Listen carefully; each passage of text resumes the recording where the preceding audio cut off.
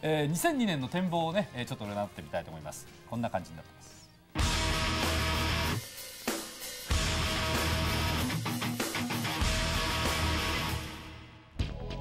えー、まずはこの人が最初に出てきます。笠間よりなんですがこれはどういうことを言いたいのかというと笠間よりとフレイタスの統一戦が小泉さんあるんじゃないかということですよね。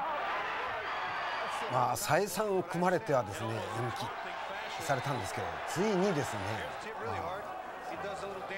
行われることは内定ですね、えー、相手はこのフレイタス、まあ、役者揃いましたよ。そうですね。ね、強打者対テクニシャンですよね。浜さん当然フレイタスは今度こそまたこの試合でも倒しに来ますでしょう、うん、まあやっぱり笠村君うまいですからね、ええ、うまい選手に対してパワーで圧倒するという分かりやすい試合をしようという気持ちでいくでしょう。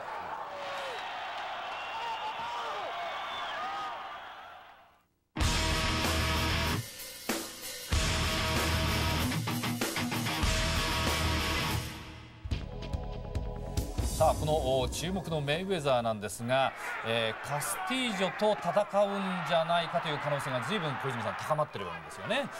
まあこれもですねその3月に内定したんですね。はい、はい。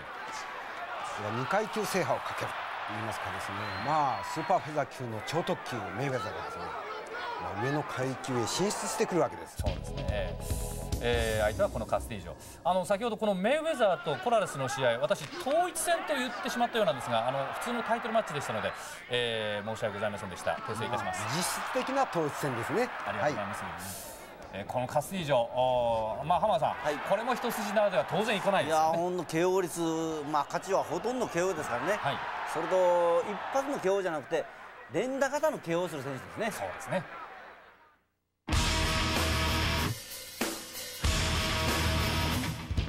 そして面白いのが因縁の再戦という形なんですがこのモラレスとバレラがやるのかなという話も、えー、かなり高まっております。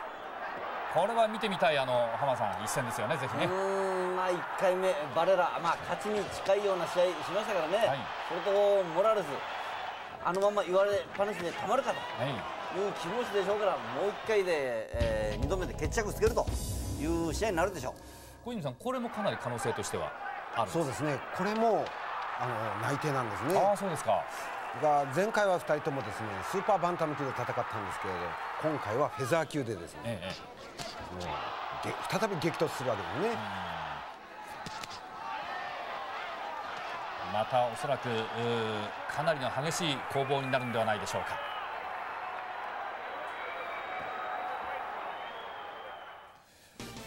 そうすると来年は前半ね、軽量級に目が離せないですね。すね春までにかなりありますよね。はい、えー、因縁の再戦もありますし、はい、えー、その後の何階級制覇というね、うん、感じもありますが、えー、どうですか小泉さん、えー、どれが一番早く見たいなという展開でしょうか。私は笠間よるフレイタスですね。はあ、だからその笠間よるがですねフレイタスの強打をまあテクニックでさばくのか。ええそのカサメルのテクニックをですね乗り越えてあのハードパンチをですね、ええ、爆発させるのかこれは興味津々ですね。うん、はい。えー、浜田さんのみたいな当ててみましょうか。バレラとモラレス 2でしょう。うん、まあまあ先に言われたんでそういう言うしかないですけどね。そして勝者がやっぱりハメドとやると、やっぱりハメドを見たいですね。勝者とやるっていうからまたまた見たいですよね。ああそうですね、はい、ハメドのねこう変わったところを見たいですよね。あより強く進化したところね、まあ、どういうふうに変わるのか、ね、まあもしくはあ変わってほしくないと、うん、どんどん変則でやってほしいという気持ちもありますけどね。そうですか、まあ、ハメドはね、やはりあのバレラに負けた試合のショックがあるんですよね。ええだからハメドの次の試合は今のところ目処が立ってないんです。はい、はい、すみません。今日あの VTR いっぱいありますので、してます。えー、続いて参りたいと思います。